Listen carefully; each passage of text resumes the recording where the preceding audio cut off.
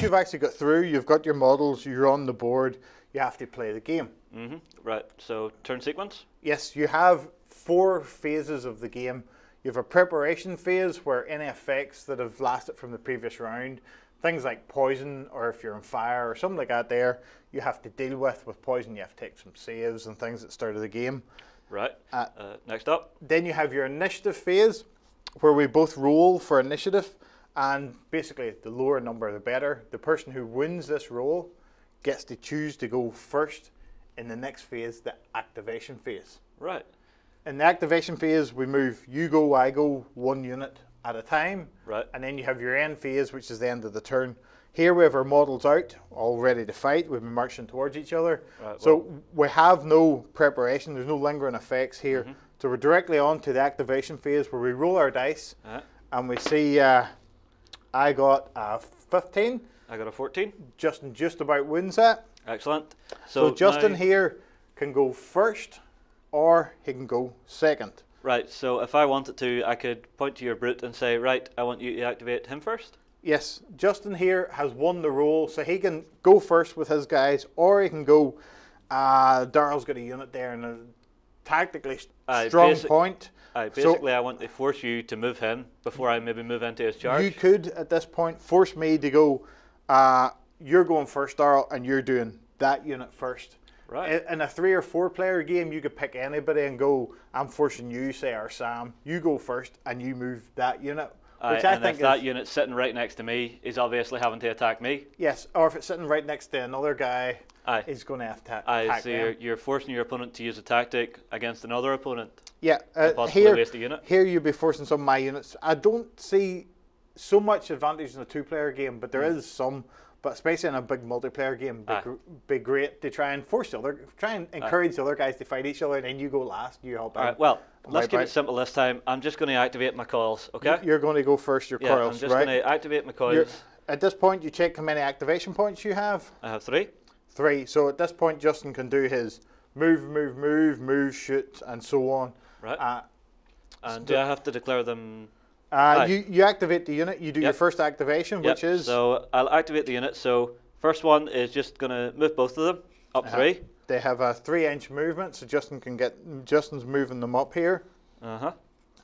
Uh, Justin's coils have the advantage of they have shooty and they have close combat. Uh huh. So Justin's second activation. What are you going to do for this? I'm going to shoot Right at at, your wasteland warriors. at my warriors. At this Uh-huh. point, we have to work out. You have a target priority Oh, okay. of a ring of ten inches. So my warriors are just in, but my brute is also in as well. right. This means at least one of your guys have to shoot at the target priority.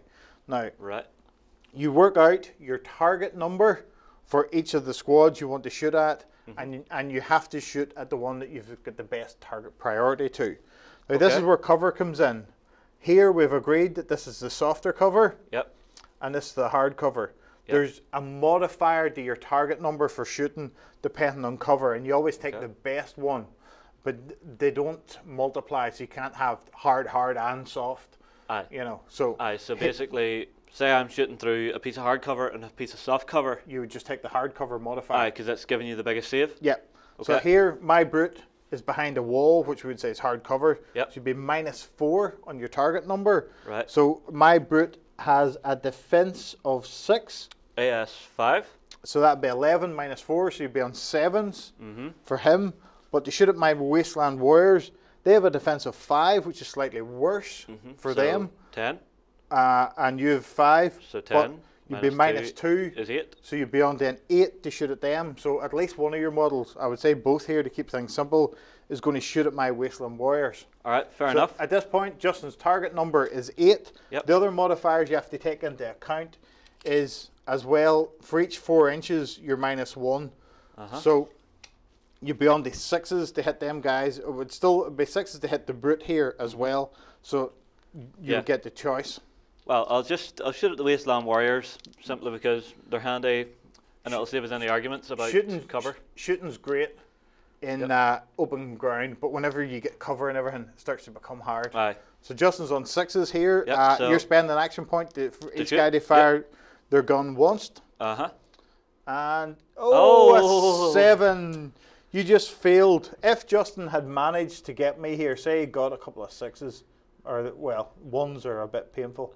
Aye, If, two if, fours. if you get a one, there's no armor save from that. Oh, So it's we've corrected Justin's dice here that he rolled a couple of fours. So he has caused two hits on me. Now you have to work out the weapon's power to my defense, my armor.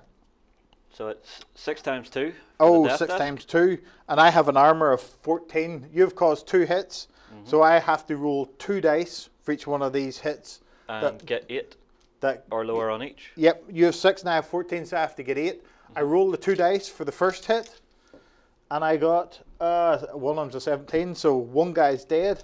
and I rolled the two dice for the second hit, and I got an 8 and a 3. Okay. So one guy died. At this point, guys, even if you fail both of these, you it still only costs you one wound. That two times six just Yeah. means it's a power of six, but you have to take two. Right, and is it only, it's only going on to one guy as well? Yeah. Yeah, well, each one, each hit is Aye. allocated to one guy. Yeah. But I have to roll two dice for that one guy to try and keep my life. That's painful. Uh, the the times two weapons are very good at shooting. I haven't lost half my squad, so I don't have to take any physique tests to see if I stay or if I fancy running away. But that's the basics of the shooting. Yeah. You get your range, you modify it, uh, you get your target numbers, and you shoot. I've lost a guy. I don't mind. That's Uh, as easy as shooting is, guys. Yep, that's basically it. Although I still have one action point left, Uh huh. and I'm going to use it to move. You're So, going to move. Give me the tape. Uh, okay. Now, I think I'm actually going to jump in next to this wall and see if I can snag a little hard cover. Yeah. Uh, Justin at this point is trying to gain some cover from my guys maybe shooting back. They're up against the wall. The the other reason here, Justin couldn't have fired again because your weapons have an RF, one. of one that basically means they've got one shot. Yep.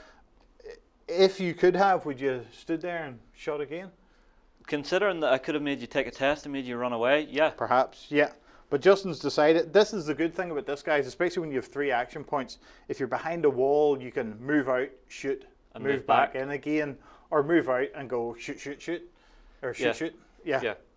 Or if you're just standing toe to toe with something that's about to hit you in combat, it's just pop, pop, pop if you have the RF to do it. Yeah. Generally, most of the weapons only have a one or a two. Mm. Very few of the weapons, uh, bar the close combat ones, I just can who, constantly who go and just go and keep go. fighting. But that's that's the basics of shooting, guys. In the next video, we'll do a little bit more movement and we'll get on to some combat. We'll see you then.